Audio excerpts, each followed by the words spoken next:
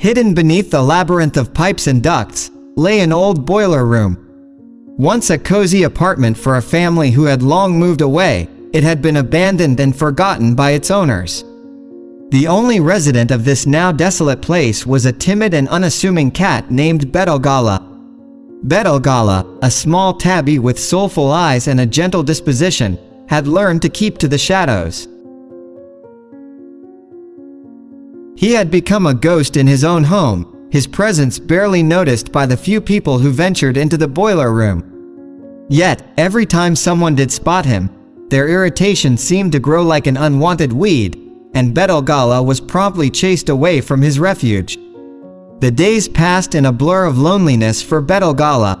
He would find solace in the corners of the boiler room, where the warmth of the old machinery provided some comfort.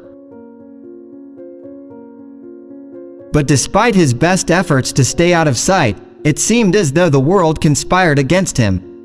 One fateful evening, Bedolgala's luck took a turn for the worse.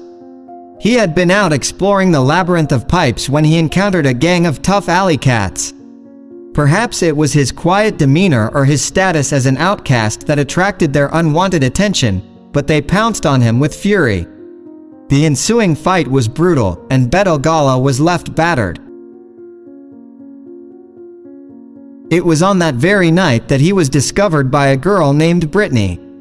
As she explored the dark corners of the boiler room with a flashlight in hand, she stumbled upon the injured Bedolgala.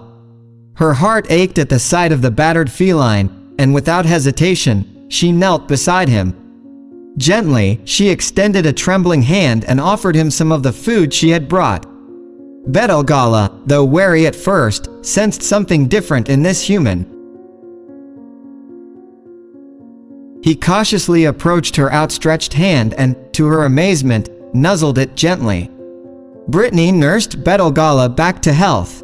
She cleaned his wounds, fed him, and even gave him a name, calling him Buddy for short. As weeks turned into months, Bedolgala, now Buddy, became a beloved resident of the boiler room. No longer persecuted or chased away, he basked in the love and care that surrounded him, thanks to Brittany's unwavering devotion.